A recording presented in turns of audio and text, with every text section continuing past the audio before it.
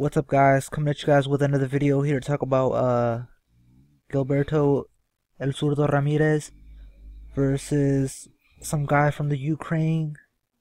Not many of us even know him or well look man, I was kinda mad cause yo, why the fuck are they charging us for some bullshit ass fights?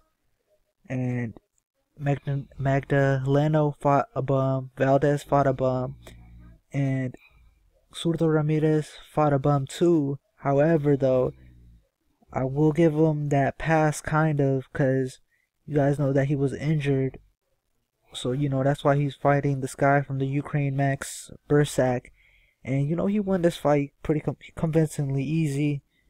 And, like, yo, why the fuck are we seeing these? Okay, I'll, I'll give him the pass on this one because he was injured and you know okay test out that hand see how it works. But no excuses for the other two man. Magdaleno and valdez straight up garbage ass fights. Top rank.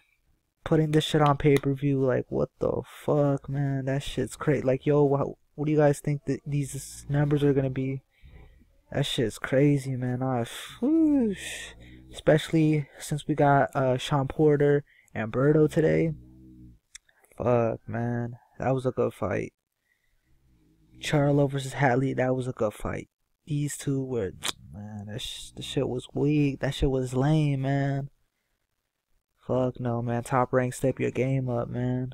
HBO, what, what the fuck's up with these budget cuts, HBO, man? You got Top Rank is only showing love to Lomachenko and Terrence Crawford on HBO, man any other fight we have to if we want to see them we gotta see it on pay-per-view. That's some fucking bullshit.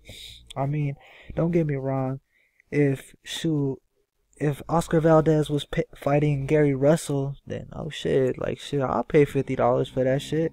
If he was fighting leo santa cruz i would most definitely i would pay $50 for that shit. But who the fuck he's fighting his mandatory marriaga come on now what the fuck? How did even how did that boy even get the opportunity to fight? Oh, some bullshit